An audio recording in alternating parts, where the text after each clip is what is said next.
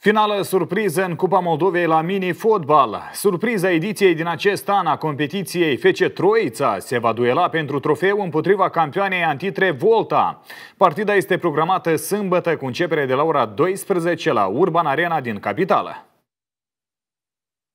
FC Troița este o adevărată revelație în actuala ediție a Cupei Moldovei la mini-fotbal. Echipa din localitatea cu același nume a ajuns până în ultimul act după ce a trecut în sferturi de redutabila Inter Dnestr.com la loviturile de departajare, iar în semifinale s-a impus la fel la penaltiuri. De partea cealaltă, campioana Volta a trecut în penultimul act de Grebenic cu scorul de 4 la 0. Duelul a început cu un autogol al lui Stepanov, iar ulterior Andrean Apostol, Andrei Stratan și Andrean Serbușca au marcat pentru o victorie obligatórie. Ele ister băieților, Tá. Suntem bucuroși în primul rând pentru noi.